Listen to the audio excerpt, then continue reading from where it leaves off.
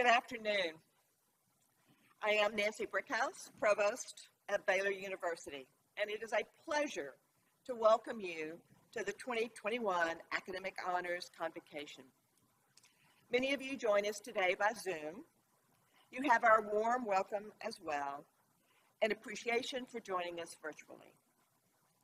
Endowed by Harry and Anna Jeans in 1992 and now overseen by the Baylor University Honors College, Academic Honors Week is an ongoing recognition and celebration of the rigorous and exciting undergraduate educational experience provided by Baylor University. This week's activities include today's academic convocation and the opportunity for honors program seniors to present the overviews of their thesis research. Originally recognizing only outstanding students from the College of Arts and Sciences and the Honors College, the academic convocation has, was expanded in 2005 and now also recognizes outstanding students from the Robbins College of Health and Human Services, the Hankamer School of Business, the School of Education, the School of Engineering and Computer Science, the School of Music, the Louise Herrington School of Nursing, and the Diane R. Garland School of Social Work. It is my pleasure to welcome the honorees for 2021, along with their accompanying deans, department chairs, program directors, and mentors. We will remain indebted to Mr. and Mrs. Jeans for their endowment that has made it possible for 29 years to offer Academic Honors Week and for us to acknowledge and congratulate the intellectual accomplishments of so many of Baylor's finest undergraduate scholars across the disciplines. Please join me in prayer. Heavenly Father, we thank you for the gifts and the accomplishments of the men and women we honor today. We know that we are all a gift from God, from you, and we pray that you will provide us with the wisdom and courage in the use of these gifts to serve your purposes. Help us to be your voice, your face, your touch in the world. May we always seek your glory rather than our own glory. May we be concerned about the needs of others as well as the needs of ourselves. May we strive to achieve the ideals we have been taught, and may we preserve the beauty in this world that you have so wondrously made. We pray all these things with faith, hope, and love. Amen. Now let me invite Dean Douglas Henry of the Honors College forward to say a few words.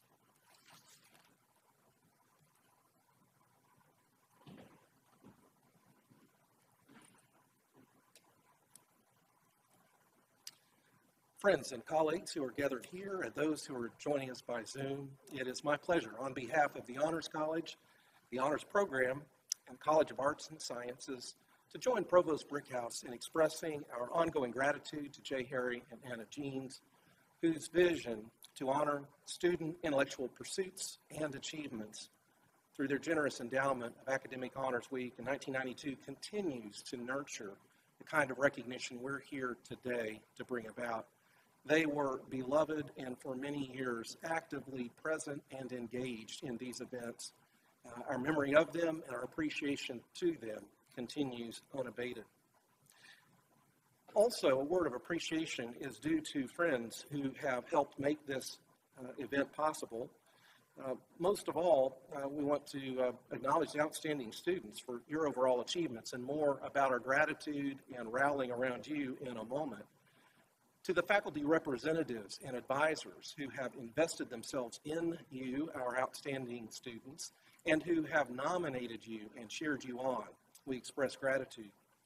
To Laura Hendricks and her team in institutional events for the success of this virtual event, we give thanks. For departments all over campus whose diligent work in gathering lists of outstanding students has been an integral part of bringing us to this event, and to Autumn Henneke, coordinator for our convocation program and assistant to the dean in my office. We give thanks as well for you, Autumn. Those words of gratitude having been said, it is my great honor uh, to acknowledge by way of introduction and to invite after me our keynote speaker, an alumnus of the university, Rudy Chow, who will present a short, inspiring talk, A Different Kind of Drive.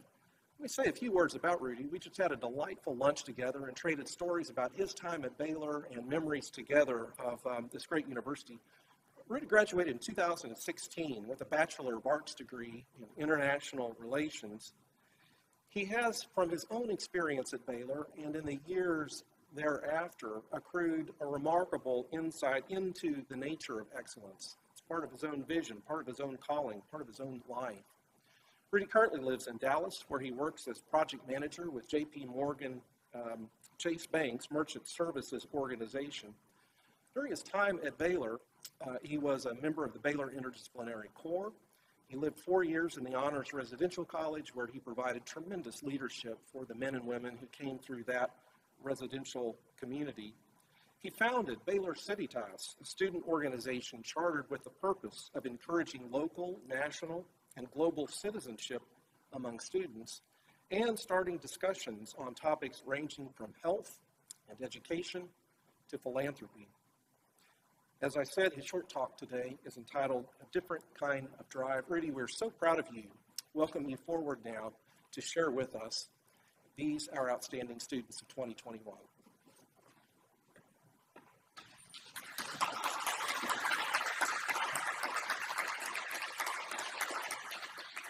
Good afternoon, everyone. Thank you, Dean Henry, for the kind introduction, and thank you all for your time today. I'd like to start off by congratulating the students who are being recognized here this afternoon. This event is an affirmation of the hard work that you have put in over the last few years, and I'm honored to be here to celebrate with you. It's also a treat for me to be back on Baylor campus as it brings back so many great memories.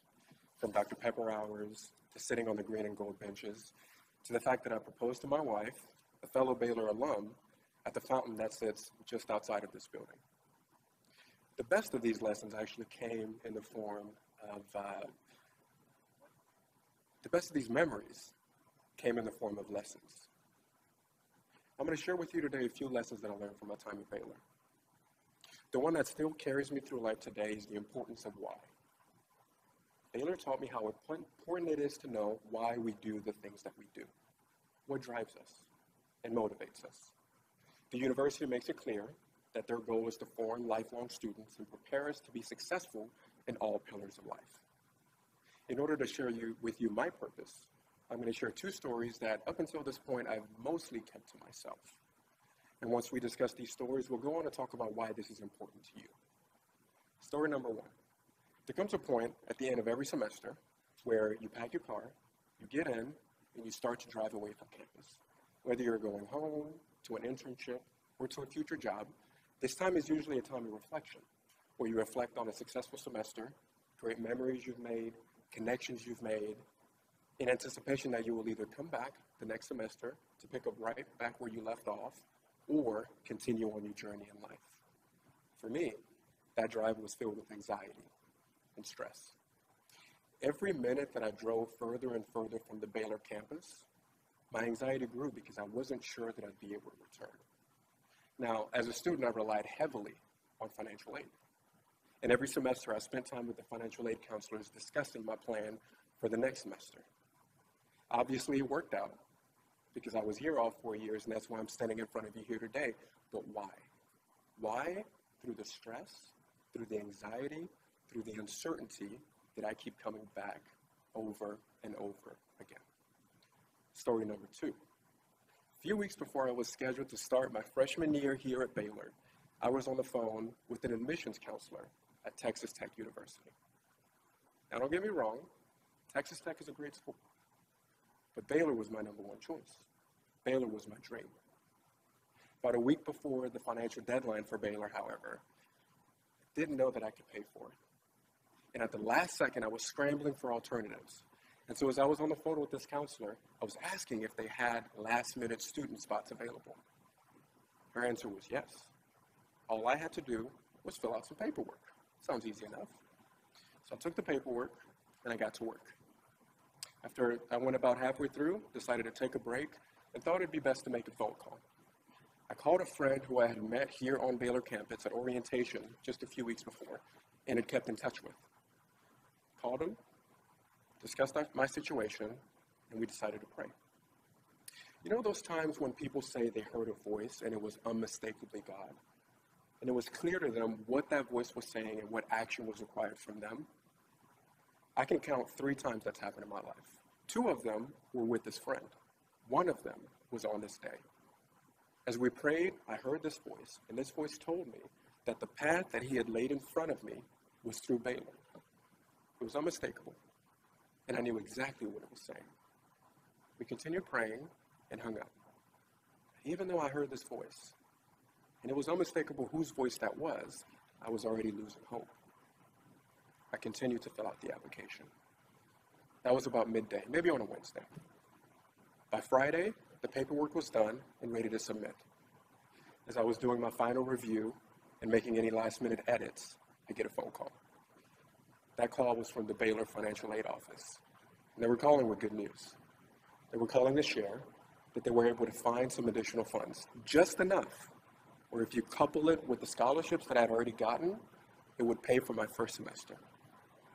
So with that in mind, I scrapped the documents and doubled down on Baylor.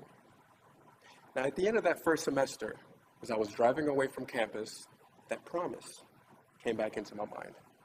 And I remember it, I remembered it that day, as well as at the end of every other semester since.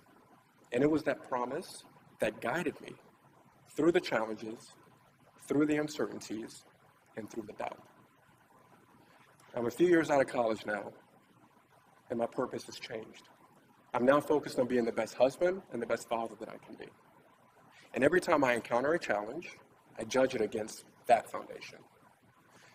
And we're probably at the time where you're wondering by now, why does this matter to you? It matters because in a few weeks, you're going to pack up your car. You're going to get in the driver's seat. And you're going to drive to your next destination. And that path ahead may not be certain. As you take on that drive and as you prepare for that moment, I implore you to ask yourself, why? Why are you taking that next step in life? Why that graduate program? Why that company? Because once you settle on that purpose, the challenges that lay ahead cease to matter. They become only a means to an end because the road ahead has already been paved. As I close our chat here today, I want to leave you with a quote from Mark Twain. He wrote, The most important days of your life are the day you were born and the day you find out why. Because once you find that purpose, it orients you onto your path ahead, and challenges that you encounter along the way no longer sway you because you're focused not on the challenges, but you're focused on the destination. With that, I'll step aside and let you forge ahead. Thank you for your time, and congratulations again to the students that are being honored at this ceremony. Thank you.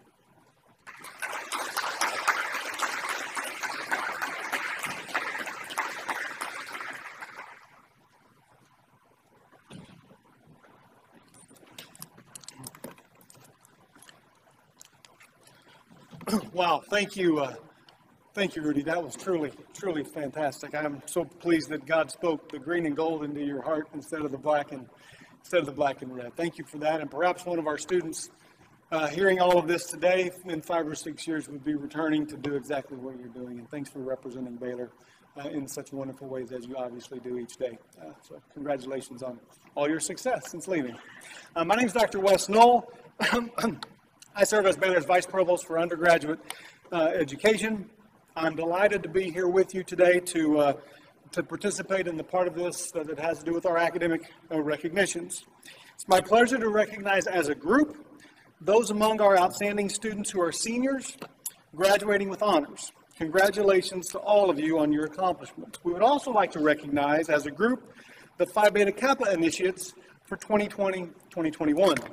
Phi Beta Kappa is the nation's oldest scholastic honor society, founded at William and Mary in Williamsburg, Virginia in 1776. The Baylor University chapter Zeta of Texas was chartered in 1976 at the Society's bicentennial and continues its work on campus, recognizing and encouraging excellence in the liberal arts and sciences. I'd like to thank Dr. Jeff Hunt, Secretary for Phi Beta Kappa, and Dr. Dan Hanchey from the Classics Department in the College of Arts and Sciences, and the Zeta Chapter President. Uh, It's now my pleasure to begin recognizing our outstanding students by college and school. Uh, Where you're here in person, as we typically do this, and hopefully we will do this next April, I would ask you to stand briefly and be recognized as your names and your professors' names and those representing the departments are named. But instead, you'll have to celebrate uh, via Zoom, but I guess the good news is you can blow air horns and high five whatever you would like in your own Zoom living room. Uh, And next year, hopefully, we'll be, we'll be right here. So to begin, uh, from the College of Arts and Sciences, uh, the dean there being Dr. Lee Nordt, uh, from the Aerospace Studies uh, Department, also known as Air Force ROTC, Lieutenant Colonel Paul Bryant is the chair. The two students being recognized are Timothy Davis and Rachel Mason. From the Anthropology Department, uh, the chair being Dr. Michael Muehlenbein, uh, two students being recognized, they are Jacqueline Murphy and Ali Dove Flagar. From the Art and Art History Department, where the chair is Dr. Heidi Hornik Parsons, uh, we have two students being recognized, one from the Art History track, and that is Michaela Schmidt, and uh, from the Studio Art track, Kristen Boyer. From the Biology Department, uh, where the chair is Dr. Dwayne Simmons, we have two students being recognized. They are Emily Dunn and Emily Schultz. From the Chemistry and Biochemistry uh, Department, where Dr. Patrick Farmer is the chair, two students being recognized. There are Kara Warren and Ryan Wong. Uh, From the Department of Classics, where Dr. Ken Jones is the chair, two students being recognized. There are Ethan Charles Bryant and Grace Rimmer. From the Communication Department, Dr. David Schlueter is the chair there. We have uh, three students being recognized. From the Communication Specialist track, Catherine Tennessee Cunningham. And from the Communication Studies track, we have Samuel Douthit Aker, and we have Jessica Austin. From the English Department, Dr. Kevin Gardner is the chair. We have two students being recognized. They are Sarah Burning and Kelsey Mosley. From, from Environmental Science, Dr. George Cobb is the chair, three students being recognized, each from a different track. From the Environmental Health Science track, Connor Crow. From the Environmental Science uh, track, Fallon Bain. And from Environmental Studies, Ava Corey Roberts. From the Film and Digital Media Department, where Christopher Hansen is the chair, two students to recognize here, Sarah F. Allen and Nicholas S. Diaz. From Geosciences, Dr. Stephen Driese is the chair. Uh, The two students to be recognized are August Dreyer and Shandell Thomas. From the Department of History, Dr. Barry Hankins, chair, two students, Danielle Sanchez and Benjamin Jack Young. From the Institute of Air Science, Dr. Trey Cade is the director. Two students to acknowledge and recognize today, Caitlin, Caitlin Eby and Natalie Mendoza. From the Department of Journalism, Public Relations, and New Media, Dr. Mia Moody Ramirez is the chair there.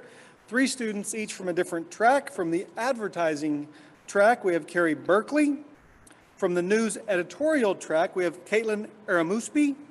And from Public Relations, Catherine Hurd. From the Mathematics Department, Dr. Dorina Mitrea is the chair. Two students to recognize today, Ethan Aaron Reyes and Sierra Maria Shetler.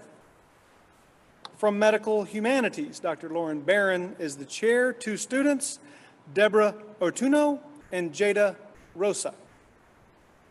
From Military Science, uh, home of Army ROTC, Lieutenant Colonel Janine Robinson Turner is the chair. Two students to recognize here, Cadet Michael Lotspeech Yedo and Cadet Christopher Miller. From the Modern Languages and Cultures uh, Department, we have Dr. Michael Long as the interim chair. We have four divisions uh, in that department, one student from each.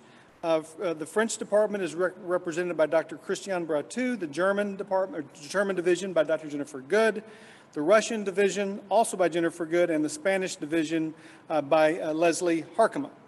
The outstanding student in French is Jonathan Wu. The outstanding student in German is Fallon Bain. Outstanding student in Russian is Leah Elizabeth Ash. And from the Spanish division, uh, being awarded uh, posthumously, Sarah Turner. From the Museum Studies Department, Dr. Kenneth Haferty is the chair. Two students to recognize Morgan Ballard and Aaron Graham. From the Philosophy Department, Dr. Todd Buras is the chair there. Two students to recognize Clay Dominy and Seth Houghton. Physics Department, Dr. Dwight Russell as interim chair. Two students, Nolan Kraft and Alexis Simmons. From the Political Science Department, Dr. David Clinton is the chair. Uh, Two students to recognize uh, posthumously, again, uh, Jake Conyer and Haley Stiles. From the International Studies area within political science, where Dr. Ivy Hamerly is the director, two students, Leah Elizabeth Ash and Lauren Margaret McLean. From the Psychology and Neuroscience uh, Department, Dr. Chuck Weaver is the chair. we have two students to recognize. From the Psychology major within that department, we have Catherine Ann Nesbitt. And from Neuroscience major, we have Taryn E. Cook. From the Department of Religion, Dr. Bill Bellinger is chair. Two students to recognize, Claire Dillashaw and Mackenzie Wells.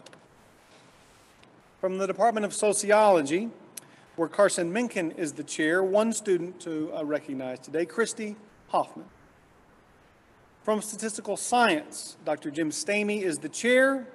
Two students. The first is Natalie DeBonapala and Kevin Gibson. And the final department from the College of Arts and Sciences, uh, the Theater Arts Department, where Dr. Deanna Totenbeard is chair. Two students to recognize Jacoby Beltran and Natalie Hammonds. Now, from the Hankamer School of Business, where Dr. Terry Maness is dean, uh, from the Accounting and Business Law Department, where Dr. Brad Lale is the chair. Uh, two students, the first from the accounting area within uh, that department, Nicole Salama. And from the TS CPA Accounting Excellence track, we have CJ Foster. From the Baylor Business Fellows Program, where Dr. Alan Seward is the director, two students, Rachel Eloquin and Miriam McCormick. From the Economics Department, Dr. Chuck North is the chair. Three students to recognize. The first from the BBA in Economics major, we have Sophia Puvong Fulton.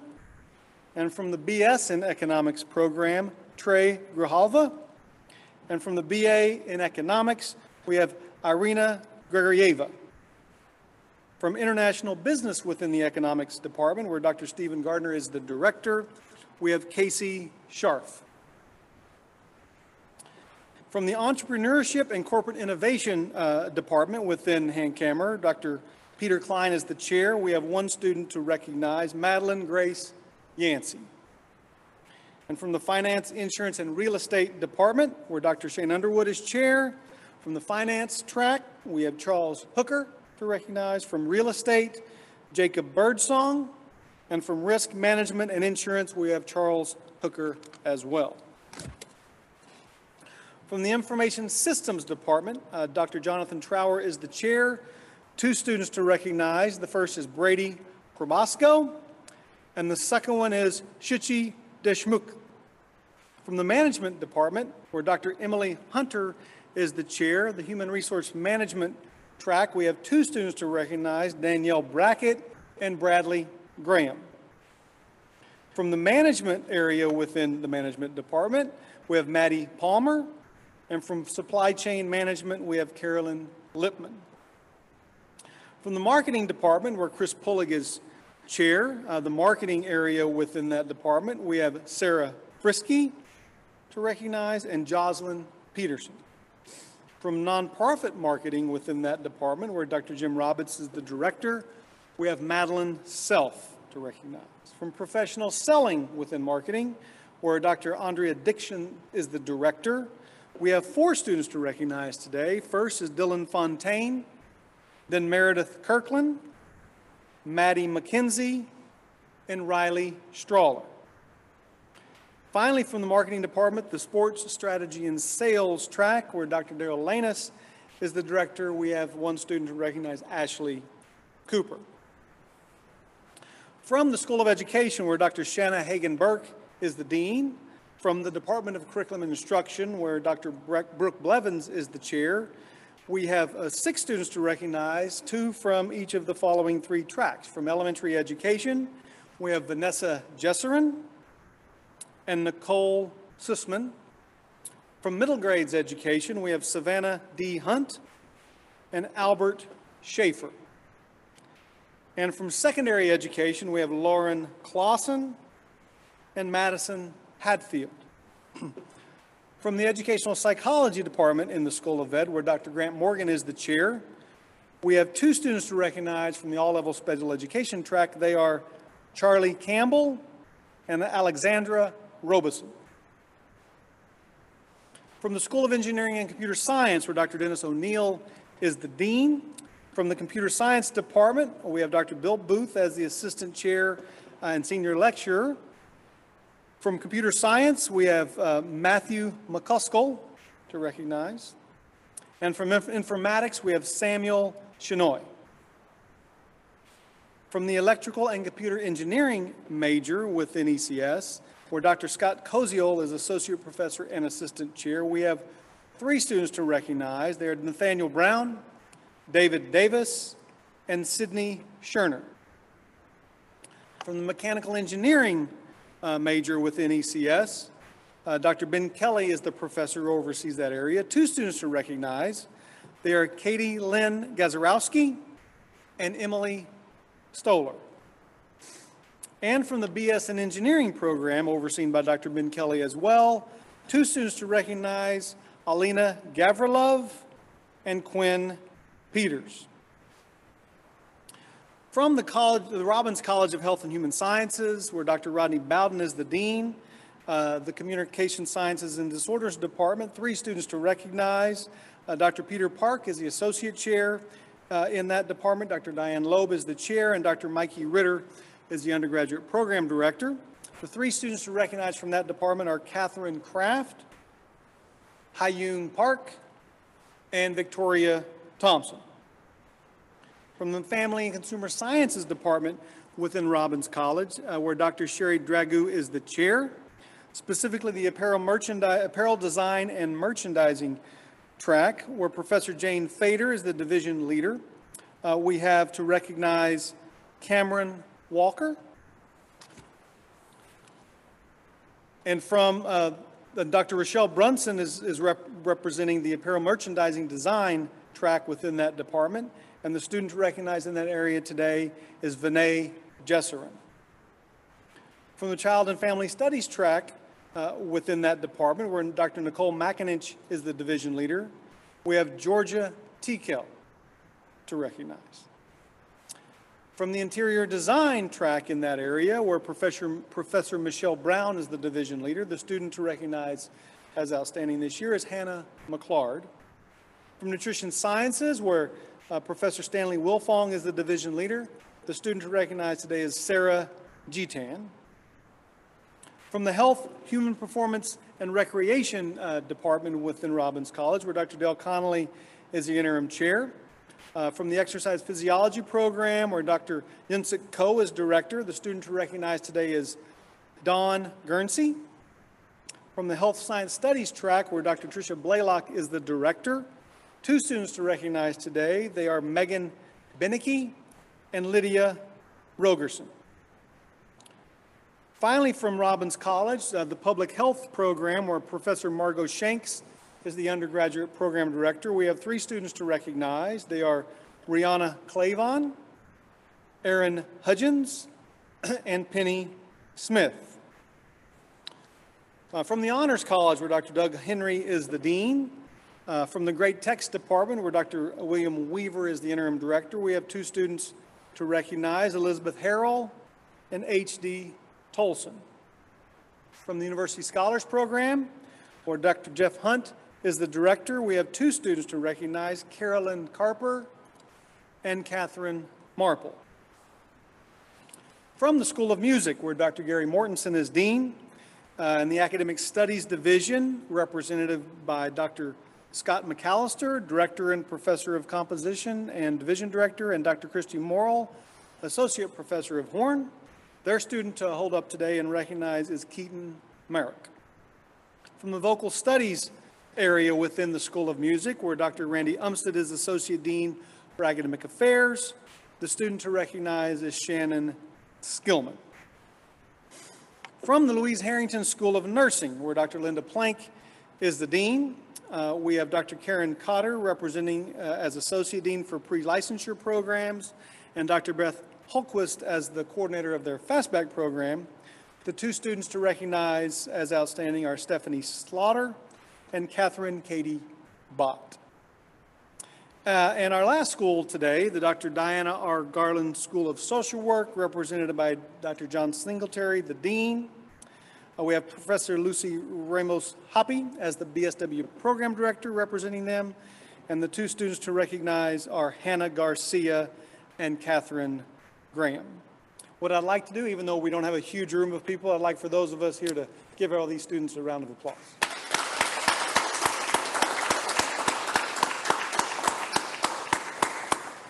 I just want to add my congratulations to all of you and thanks for all of your hard work. And we're going to have an in-person commencement here real soon and we can all get together uh, in the way it will be in May of 2021 and celebrate. So I'd like to invite Dr. Jim Bennighof to come up and uh, present the, uh, uh, the award he has.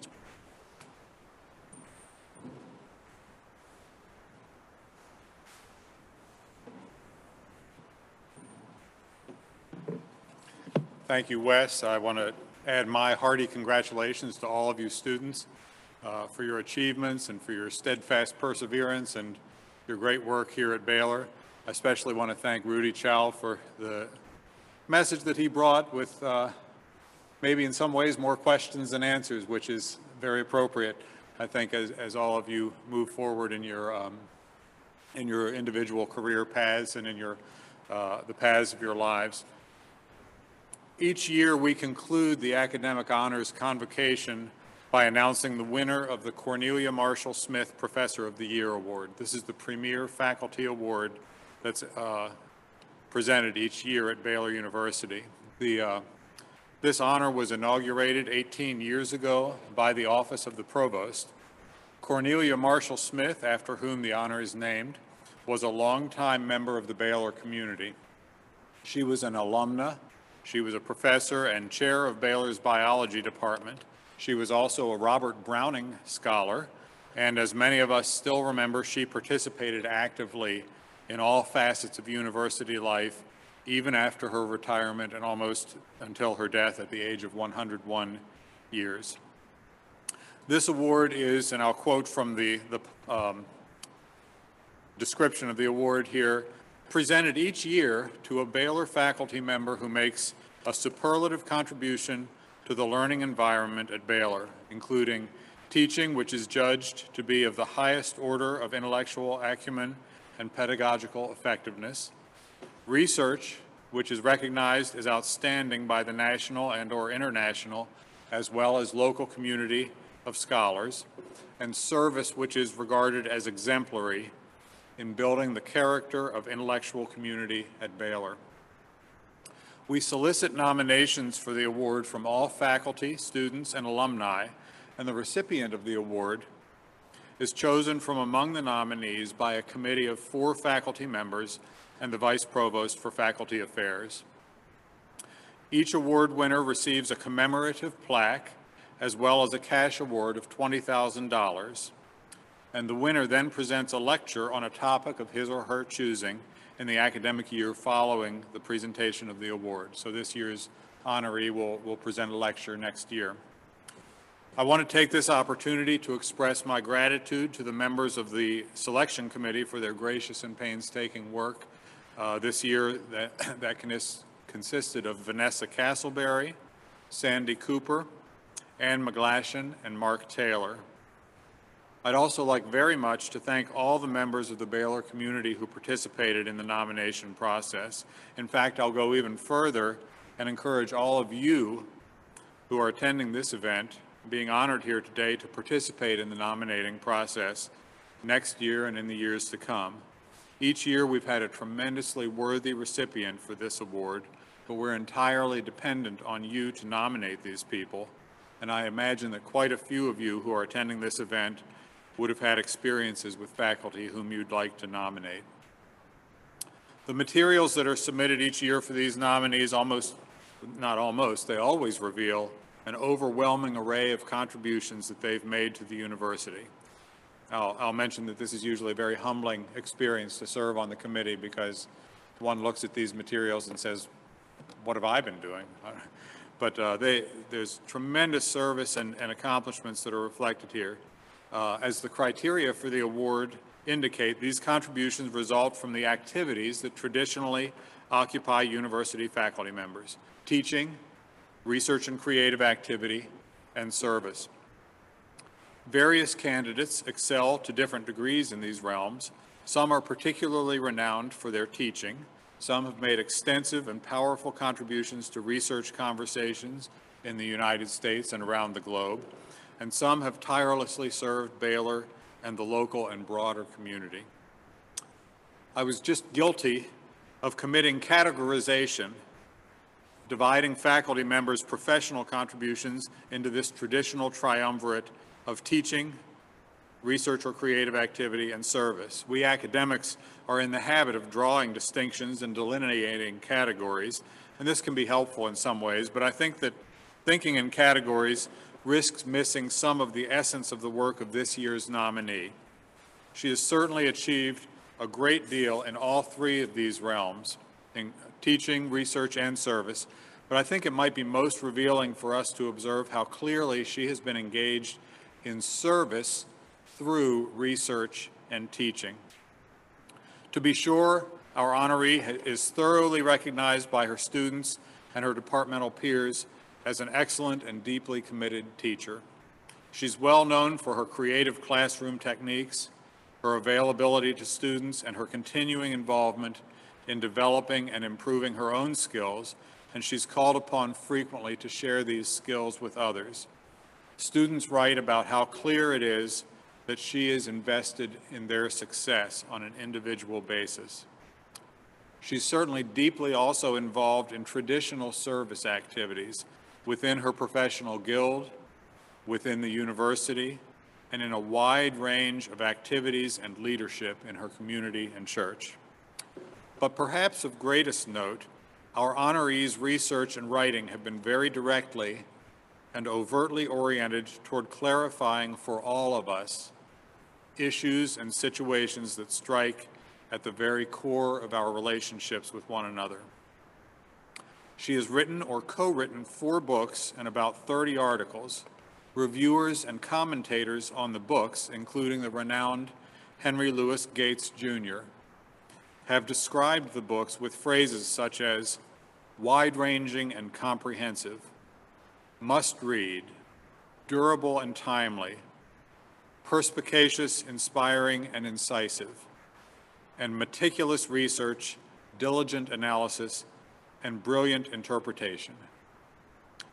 And the most distinctive element of the work that has garnered these accolades is the topic that it addresses. And here it's fortuitous that uh, Rudy talked to us about the why, because as we look at the why of these books, these writings, this research, um, we can see a very direct impact on who we are and how we think. In this case, we're talking about the ways that race is and has been depict, depicted for widespread audiences in the media. And again, I'll yield to others more expert than I am to describe this, as some of the most powerful comments about her work bear specifically on the ways that it can enrich our lives. One scholar says that her books, or it says that one of her books is, quote, part of a black survival guide that is still being written. Another describes her very timely and important explication of the impact of new social media platforms on the deployment of black humor in the early 21st century.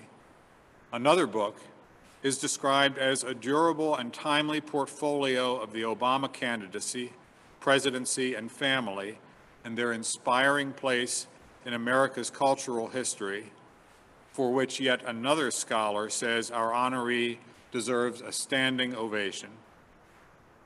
Finally, a third book's service to our national discussion is described as, quote, merging the disconnected issues of diversity, critical theory, social media, discourse, and brand slash personal uh, apologia in a seamless, well-written way, showing how the connective tissues between these theories are popular culture and mediated communication. All of this should make clear how the excellent work of our honoree is obviously and crucially relevant to issues that stare all of us in the face on a daily basis and thus provide an incalculable service. By this time, it will be no surprise to most of you who have been around Baylor for any length of time for me to announce with great pleasure that the 18th recipient of the Cornelia Marshall Smith Professor of the Year Award from the Department of Journalism, Public Relations, and New Media is Dr. Mia Moody Ramirez. As I welcome her to receive the award and make a few remarks, I want to add one additional bit of information. Dr. Moody Ramirez plans to contribute the financial award associated with this honor to a scholarship fund for journalism students. So we appreciate that deeply. Dr. Moody Ramirez.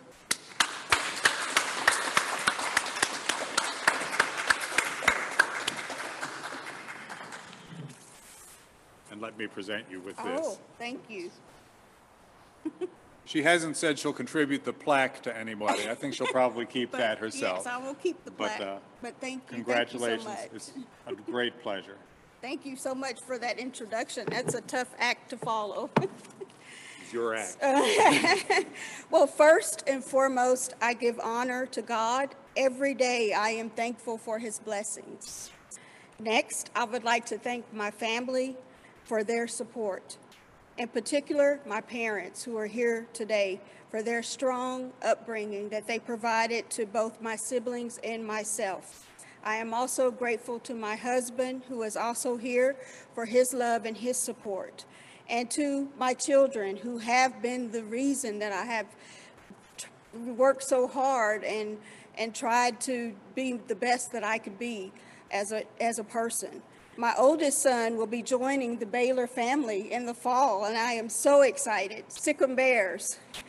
Um, I would also like to thank my colleagues who have been supportive throughout my 20 years here at Baylor, from the ones who wrote letters of support like Bob Darden, Connie Nichols, Cassie Burleson, Guillermo Almeida, and Lakia Scott. I would la- also like to thank my students who nominated me, Danielle Kilgo, Josh Cortez, Andrew Ortiz, Jade Fels, Derwin Graham. Thank you all for believing in me, and thank you for carrying the t- torch. My students are doing wonderful things. I'm so proud of them. Um, also, I would like to thank my mentors such as Sarah Stone, Kim Kellison, and Pearl Beverly, who have been there to offer great advice and who have been very supportive over the years. I am truly thankful. In particular, I want to spotlight Bob Darden, who has encouraged me to apply for this award for many years. This is not the first year I've applied for this award. Um, and I was ready to give up. This is actually, the, I think, the third year. But Dar- uh, Bob Darden told me, go ahead and apply one more year. And I am so glad I listened because here we are. Dr. Cornelia Marshall Smith, as uh, Jim Bennighof said, was a former professor and chair in the biology department at Baylor and director of the Strecker Museum for many years. She was a true trailblazer and a role model for women like me. It is a privilege to follow in her footsteps and to serve as chair of the Department of Journalism, Public Relations, and New Media today. The Dr. Cornelia Marshall Smith Professor of the Year Award is given to a professor who fosters a positive learning environment at Baylor through teaching, research, and service. I am overjoyed that my colleagues and students saw fit to nominate me for this award. This is just a true honor for me, particularly this year when we have been dealing with the pandemic, we have been dealing with social injustices, and for me to receive this award this year is truly special. So thank you, thank you, thank you for choosing me. And I am so honored to join the ranks of professors like Tom Hanks, Ann Rushing, Kevin Pinney, Bob Darden, Andrea Dixon, and so many others. I am looking forward to continuing to give back to the Baylor community, and this award will enable me to do so much more for my, for students in my department. And as mentioned by Dr. Bennighof, I am going to give the award to help fund a scholarship for students in the journalism department. So thank you for the financial award that is given to me. So again, thank you and God bless.